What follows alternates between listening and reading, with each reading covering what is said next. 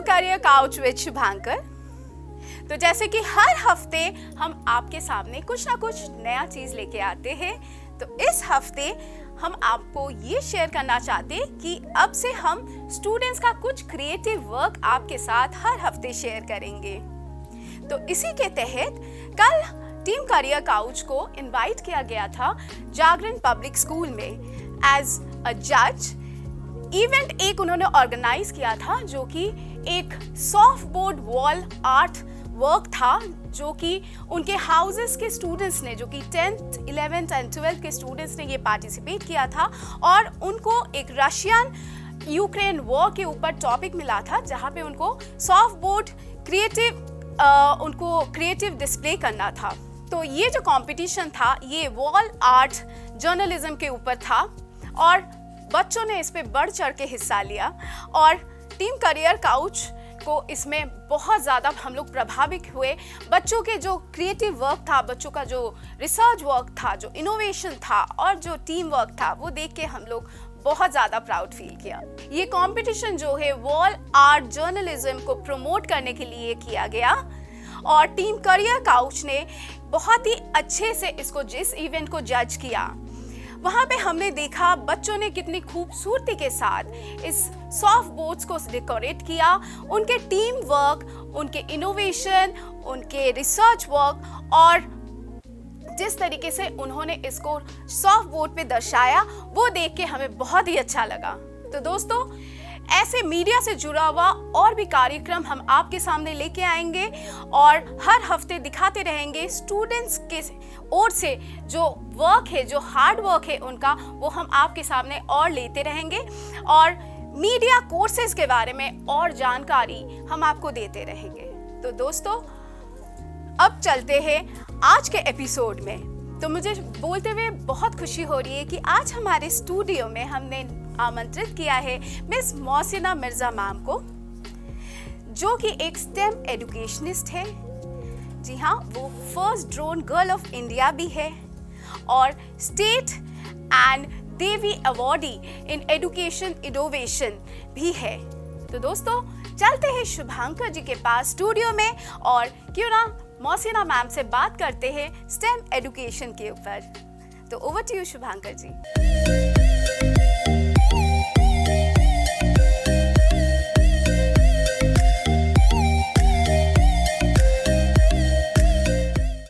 Once again, I welcome you back on Career Couch with Shubhankar.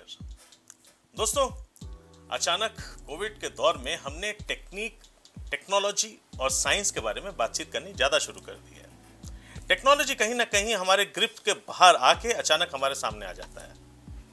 और आज हम पूरा पूरी डिपेंडेंट है। चाहे वो शिक्षा का दौर हो चाहे वो हमारा ऑफिशियल काम करने का तरीका हो ये सब अब टेक्नोलॉजी की बेस ज़्यादा हो गया है।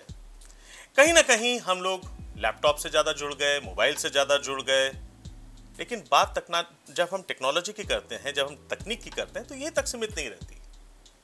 कुछ टेक्नोलॉजीज़ ऐसे हैं जैसे ड्रोन टेक्नोलॉजी जैसे आ, हम लोग कभी बायोटेक्नोलॉजी जिन टेक्नोलॉजीज़ को हम लोग कई तरीके से आज हम बहुत तेज़ी से डेवलपमेंट कर रहे हैं ये समझ चुके हैं कि अब आने वाला जो दौर है इसके बगैर हम नहीं रह सकते।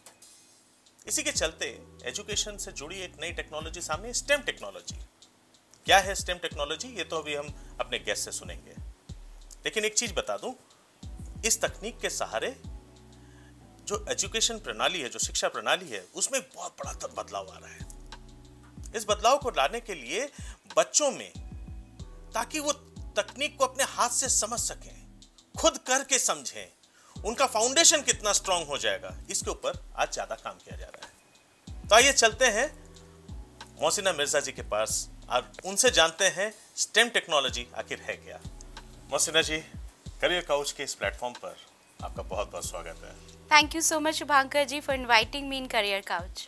Thank you Mohsina ji मैं जानना चाहूँगा सबसे पहले कि ये जो स्टेम टेक्नोलॉजी जिसको आप आप पहले लीड्स में थी, वहाँ पे आपने स्टेम टेक्नोलॉजी को समझा, उसके बाद आप इसे लेके भारत तक आई। यहाँ पे आप इस टेक्नोलॉजी को जो है, आप हर एक संस्था तक पहुँचाने का एक आपका प्रयास है।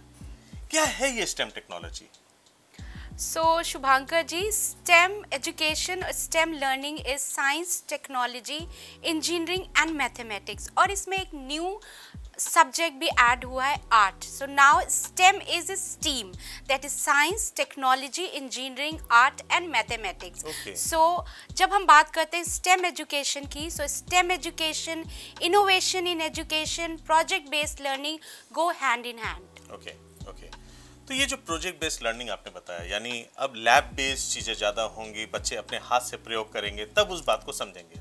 अगर मैं सही हूँ तो। मसीना जी इसके लिए तो लैब्स तो पहले भी हुआ करती थी। पहले भी लेबोरेटरीज में बच्चों को भेजा जाता था शायद इसी वजह से भेजा जाता था।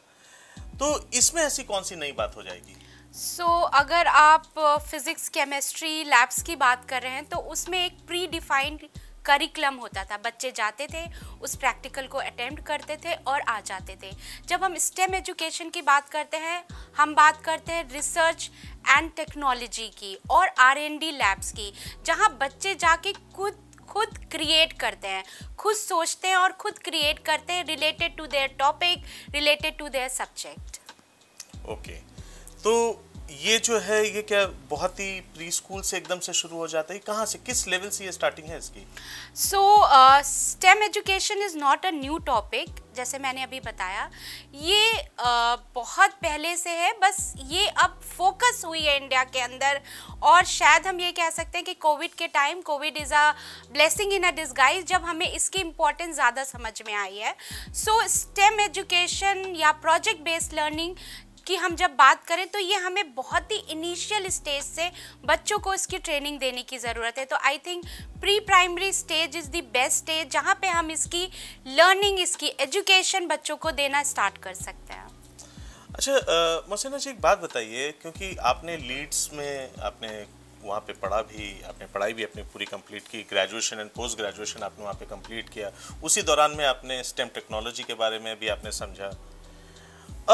बाहर और भारत में। आपको ये स्टेम टेक्नोलॉजी के इस्तेमाल का अंतर कितना दिखाई दे रहा है?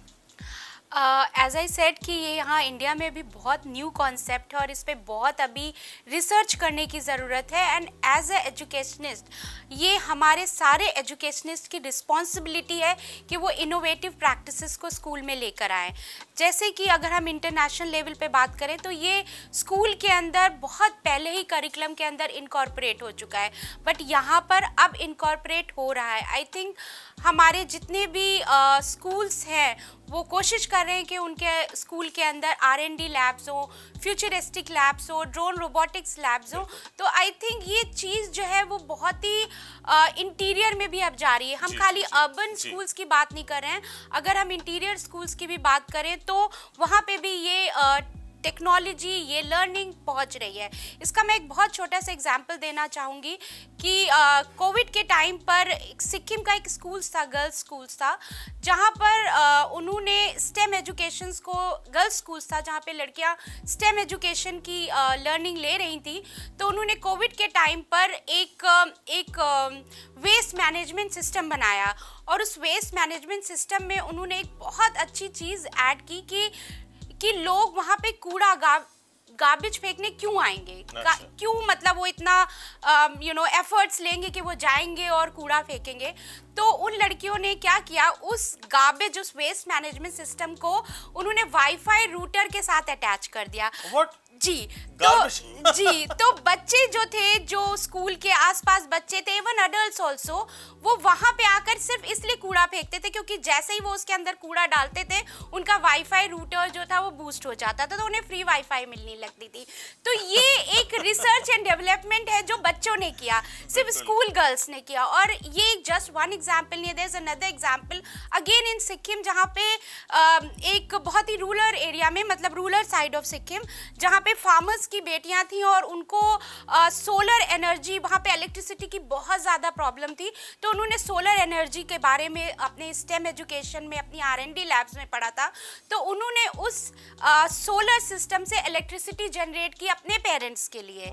तो यू नो और अब वो लोकली वहाँ के जो डिस्ट्रीब्यूटर्स हैं उनके साथ उनका टाइप भी हो गया है और वो सोलर एनर्जी पे वो गर्ल्स जो है जो सिर्फ़ ग्रेड नाइन्थ और टेंथ में थी दो साल पहले उन्होंने ये इनोवेशन किया। वाओ तो यही चीज़ है दोस्तों कि कहीं ना कहीं जैसे जैसे तकनीक अपने आप को जो है ज़्यादा विकसित करता जाता है तो उसका जो फ़ायदा है वो पूरे समाज को मिलता है। मोसिना जी आ, मुझे जहाँ तक पता है आपका शायद कोई प्रोजेक्ट जो है, वो नासा तक में सेलेक्ट हुआ था। 402 लोगों ने प्रोजेक्ट्स अपने डाले थे, उसमें से आपका भी प्रोजेक्ट सेलेक्ट हुआ था। और आपको मौका मिला कि आप नासा में जाके बाकायदा उस प्रोजेक्ट की वहाँ पे प्रैक्टिस करें, उसका रिसर्च वर्क दें, उनके साथ काम करें। तो कैसा लगा? आपने नासा में पूरा काम करके देखा, उनके साथ भी आपने रह के देखा, उनका लाइफस्टाइल भी देखा। तो टेक्नोलॉजी बेस में आपको क्या लगता है? हमारा देश अभी कितना दूर है? Uh, मैं दूर तो नहीं बोलूँगी इंडिया बहुत प्रोग्रेस कर रहा है और आई थिंक जो लास्ट टू इयर्स में जो हम लोग ने एजुकेशन सिस्टम में चेंजेस देखे हैं वो एक आउटस्टैंडिंग यू नो प्रोग्रेस है। तो इंडियंस कहीं किसी से भी कम नहीं है एंड uh, जब मैं नासा गई थी तो वहाँ पर 402 teachers different parts of the world से आए थे अपनी टीम के साथ। तो हमें जो वर्क करना था, वो स्टेम एंड स्पेस के ऊपर कोई प्रोजेक्ट भेजना था। तो जो हमारा प्रोजेक्ट था, वो ये था कि कैसे हम स्पेस डेब्रीज को यानी कि स्पेस पोल्यूशन को कैसे ख़त्म करें? तो मैंने जो एक प्रोजेक्ट बनाया था कि एक बैक्टीरिया है जिसका नाम है आइडलिली स्कैंसिस जो आप लोग बाद में गूगल करके भी देख सकते हैं और उसके बारे में पढ़ सकते हैं। This bacteria can chew the plastic तो अगर हम. इस बैक्टीरिया को स्पेस पे भेजें तो वो कैसे स्पेस डेब्रीज को ख़त्म कर सकता है? एक बहुत ही फ्यूचर का एक बहुत बड़ा थ्रेट है स्पेस डेब्रीज और अभी तक हम ये नहीं जान पाए कि ये थ्रेट किस तरह जो है वो हमारे मदर अर्थ को इफ़ेक्ट करेगा. और इसके लिए बहुत सारी organization Japanese and US organization जो है स्पेस डेब्रीज के ऊपर वर्क कर रही हैं। तो as a school mentor and team हमने इस प्रोजेक्ट को भेजा और जो हमारे टीम मेंटर्स थे टोनी एंड एंटोनिलियो जो एक बहुत ही फ़ेमस एस्ट्रोनॉट्स हैं सारा मरे स्पेस साइंटिस्ट है, जिनके अंदर में हमने ये पूरी ट्रेनिंग ली, वो उनको ये मेरा प्रोजेक्ट बहुत ही अच्छा लगा कि हम अगर इसको स्पेस पे भेजें तो हम बहुत मैक्सिमम लेवल पे स्पेस डेब्रीज को ख़त्म कर सकते हैं।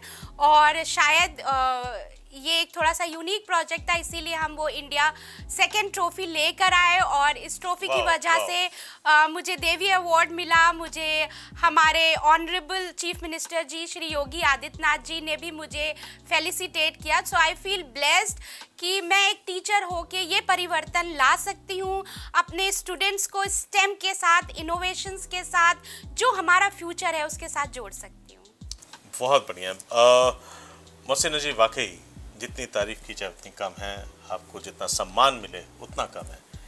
लेकिन उसी के साथ मैं जानना चाहूँगा, आपने कहा स्पेस डेबरी के ऊपर आपने काम किया। ऑफ़ कोर्स स्पेस डेबरी अपने आप में एक बहुत बड़ा थ्रेट है। लेकिन उससे भी बड़ा थ्रेट है जो प्लास्टिक ऑलरेडी हमारे प्लानट अर्थ पर वहाँ पे जो डिपॉजिट्स हो रही हैं ये अपने आप में बहुत तो क्या इस बैक्टीरिया के इस्तेमाल समुद्र में या हमारे नदियों में जो प्लास्टिक जो इकट्ठा हो रहा है उसको खत्म करने के लिए इस्तेमाल नहीं हो सकता? जापान के अंदर एक कंपनी है जो प्लास्टिक बॉटल्स को इस पे यूज़ कर रही है और प्लास्टिक बॉटल्स को कहीं मैक्सिमम लेवल पे खत्म कर रही है।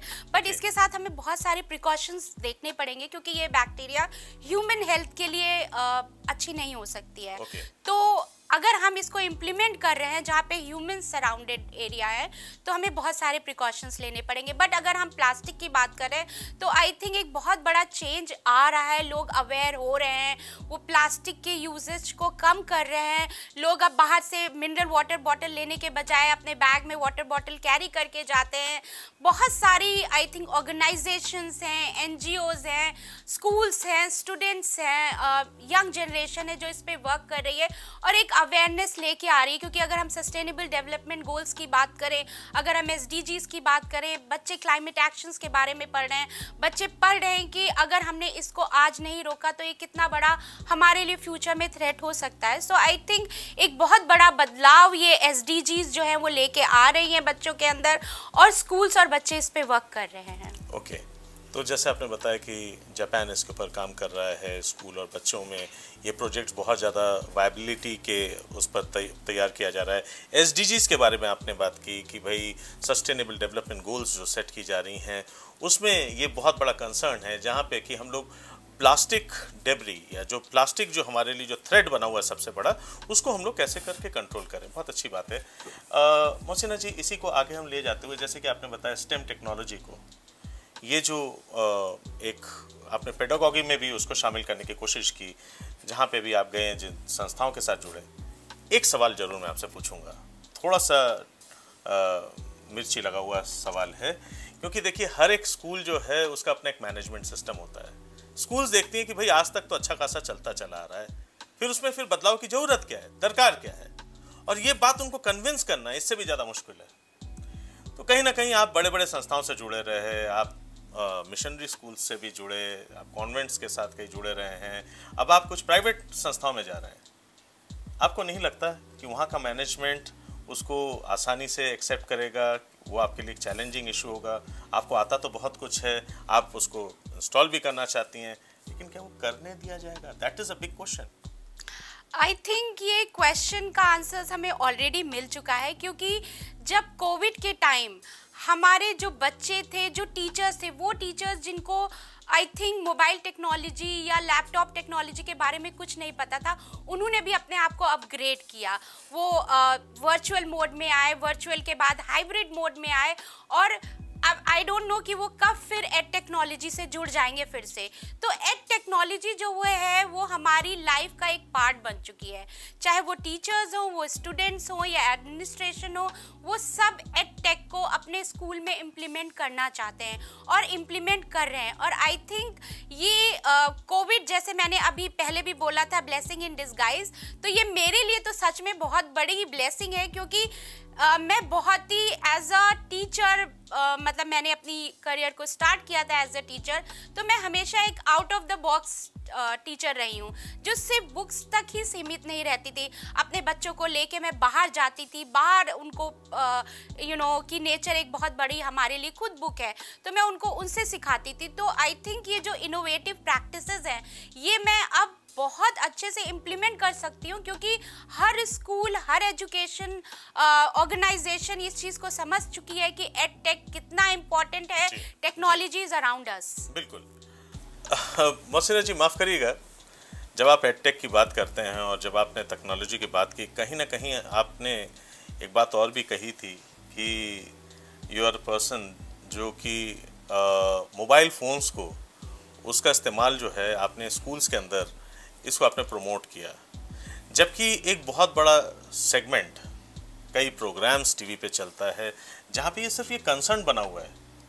कि बच्चे जो ओवर डिपेंडेंट हैं आज मोबाइल के ऊपर मोबाइल छोड़ नहीं पाते हैं, जो धीमे धीमे एडिक्शन का रूप ले चुकी हैं।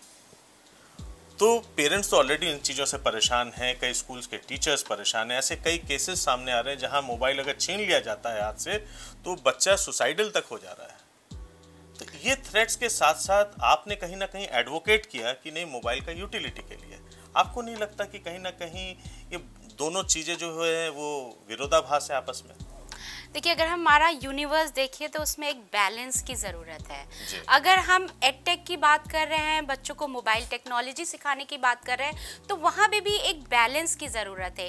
ऑब्जर्वेशन मॉनिटरिंग इज़ रिक्वायर्ड चाहे वो घर पे पेरेंट्स की तरफ़ से हो या स्कूल में टीचर्स की तरफ़ से हो। ऑफकोर्स अगर बच्चा मोबाइल स्कूल में लेकर आ रहा है तो हमारे इनबिल्ड ऐसे सॉफ्टवेयर होने चाहिए जहाँ पे हम कुछ साइट्स को उनकी ब्लॉक कर सकें उसको हम पूरी तरह से मॉनिटर कर सकें क्योंकि जब हम उन्हें कोई भी उपकरण हाथ में दे रहे हैं तो एज एन एल्डर हमारी बहुत बड़ी रिस्पॉन्सिबिलिटी बन जाती है कि हमें उनको सही रास्ते पे लेके जाना है, उन्हें सही तरीके की गाइडेंस देनी है। और जब हमें गाइडेंस देनी है तो हमें बैलेंस करना ज़रूरी है।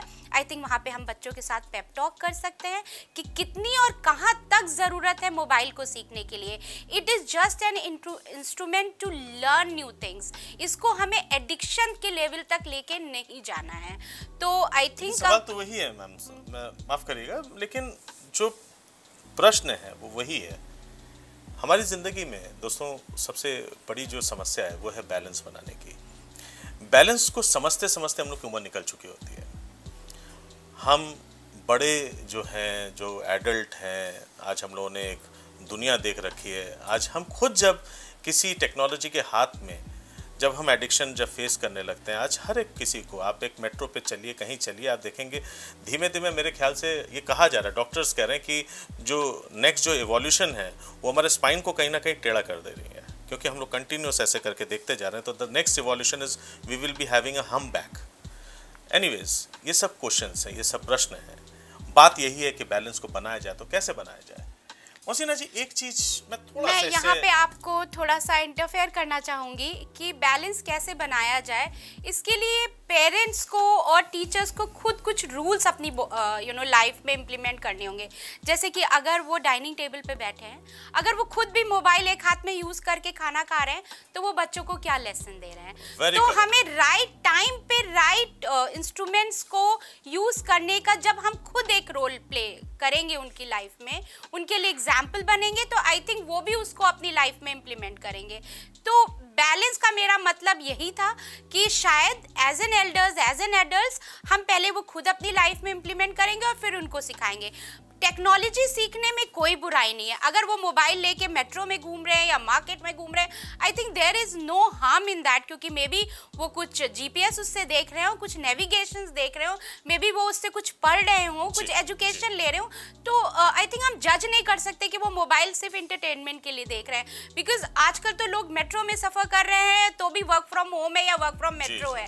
तो हमारी पूरी ज़िंदगी जो है वो एक तरीके से हाइब्रिड मोड में आ ही चुकी है। जी।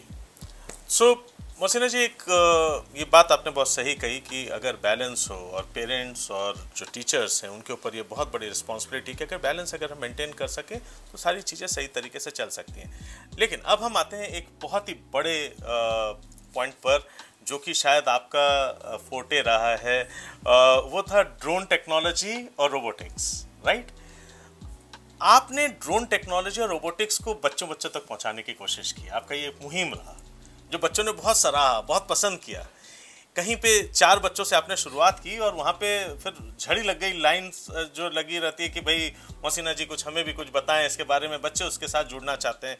ये अपने आप में बहुत अच्छा मुहिम है। इसके बारे में कुछ बताएँ, इसको आप कैसे बढ़ाना चाहते हैं, कैसे ये बढ़ सकता है? सो ड्रोन टेक्नोलॉजी और रोबोटिक्स जो है, वो स्टेम का ही पार्ट है।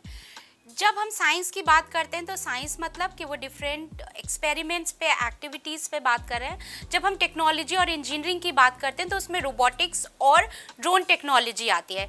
मैं बस एक बहुत छोटा सा एग्ज़ाम्पल देना चाहूँगी कि अगर बच्चे ड्रोन टेक्नोलॉजी अपने स्कूल में सीख रहे हैं तो वो ड्रोन टेक्नोलॉजी से सॉफ्टवेयर अपने में डाउनलोड करके मैपिंग सीख सकते हैं। अगर उनको एंगल्स लर्न करने में डिफ़िकल्टी आ रही है तो वो ड्रोन्स के थ्रू अपने एंगल्स को लर्न कर सकते हैं। वो ड्रोन टेक्नोलॉजी से पेंडुलम आर्ट बना सकते हैं। तो इट्स नॉट नेसेसरी कि वो खाली साइंस स्ट्रीम के हैं तो ही ड्रोन टेक्नोलॉजी यूज़ करेंगे। इवन अगर वो ह्यूमैनिटीज़ से हैं कॉमर्स से हैं तो भी वो ड्रोन टेक्नोलॉजी को रोबोटिक्स को अपनी लाइफ में ला सकते हैं।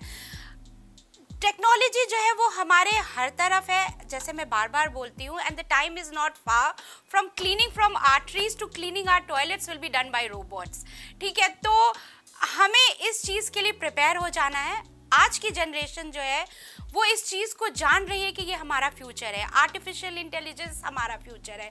और आई थिंक अगर वो अपनी लाइफ में ये सब चीज़ें इम्प्लीमेंट कर रहे हैं तो as a teacher as an educationist हमें उनको सिर्फ़ सही रास्ता दिखाने की ज़रूरत है ओके okay. सही बात है कि ड्रोन टेक्नोलॉजी रोबोटिक्स ये ऐसी चीज़ें हैं जो जैसे जैसे आपके करीब आती जाएँगी, उतना ही ज़्यादा ना आप उससे जुड़ते चले जाएँगे और आपको पता चलेगा कितना अट्रैक्टिव लाइन है, कितने आयाम खुल जाते हैं इससे, कितने और अपॉर्चुनिटीज़ की झड़ी लग जाती है सामने बहुत सही बात है। अ, मैं एक चीज़ जानना चाहूँगा मोसिना जी एक आपको तो पता होगा अटल लैब हर जगह हर स्कूल में एक ग्रांट दिया जा रहा है उसके माध्यम से ये ये प्रयास ही शायद सरकार का ये था कि टेक्नोलॉजी को जो है तकनीक को जो है वो बच्चे बहुत आसानी से उसको अडॉप्ट कर सकें। अच्छा ये आपको नहीं लगता कि अब वो समय आ चुका है जहाँ एक एक अटल लैब शायद अब हर एक घर में होना चाहिए? तो वो ज़्यादा बच्चों के लिए आसान हो जाएगा, क्योंकि ये सारी चीज़ें सुनने में बहुत अच्छी लगती है, सब कुछ बहुत अच्छा लगता है। लेकिन कहीं ना कहीं ये बहुत एक महँगा शौक है। इस शौक को पूरा करने के लिए माँ बाप के पैसे और भी लग जाने हैं तो इसको कहीं ना कहीं से इसको क्या आसान किया जा सकता है?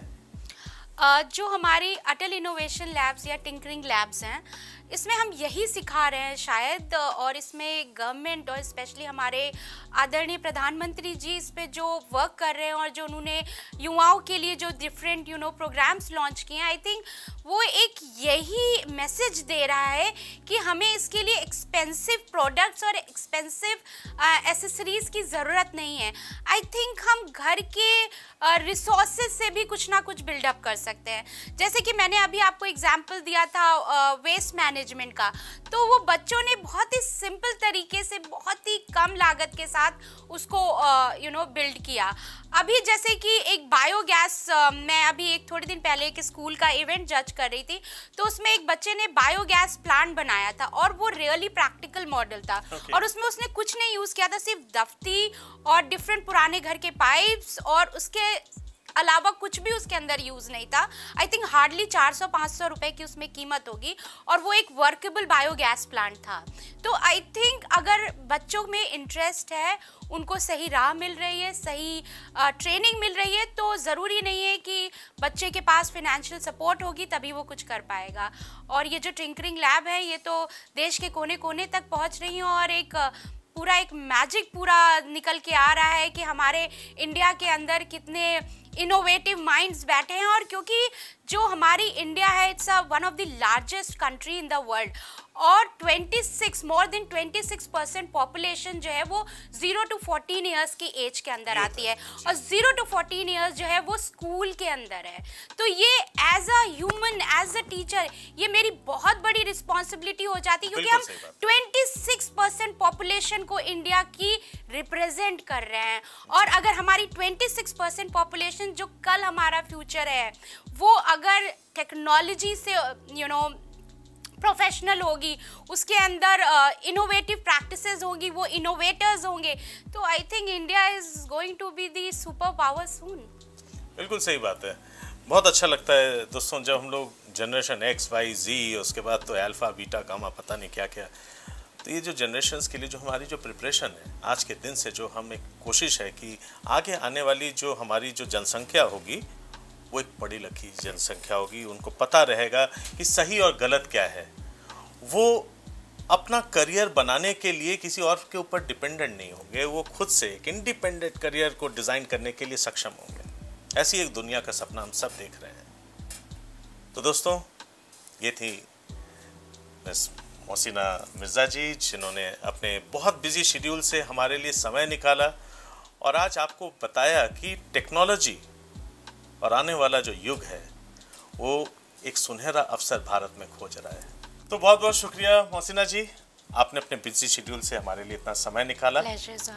और आपने हमारे दर्शकों को बताया कि स्टेम टेक्नोलॉजी कितना बड़ा एक सुनहरा अवसर आज हमारे देश के लिए लेके आ रही है। दोस्तों वाकई हम जब जनरेशन एक्स वाई जी फिर पता नहीं अल्फ़ा बीटा गामा इनके लिए जब हम एक सुनहरा सपना देख रहे हैं ये हमारे अपने बच्चे हैं। हमारे खुद के, अपने घर के बच्चे। ये जब टेक्नोलॉजी को अपने हाथ में लेते हैं, जब साइंस को अपने हाथ में एक प्रयोगशाला के तौर पर देखते हैं तो भारत एक स्वर्णिम युग की तरफ़ देखता है। आशा करता हूँ कि इस टेक्नोलॉजी के माध्यम से और मोसिना जी जैसे, ऐसे कई किरदार हमारे समाज को ज़रूरत है, जो कि भारत को एक वाकई तकनीक से भरपूर दुनिया की तरफ़ ले जाए। इसी आशा के साथ। आज ये एपिसोड हम यहीं पे समाप्त करते हैं।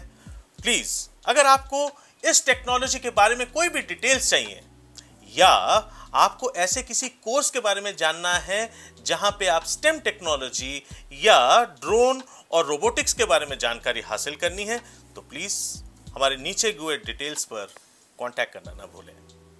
मैं एक बार फिर से बता दूँ करियर काउच गुरु आपके शहर में आ चुका है और अब कई शहरों तक हम अपने पंख पसार रहे हैं। तो बहुत जल्दी हम आपके शहर तक भी पहुँच रहे हैं। तो हमसे जुड़े रहिएगा और देखना ना भूलिए करियर काउच में Shubhankar. 9 PM every Sunday just on Prime TV bye take care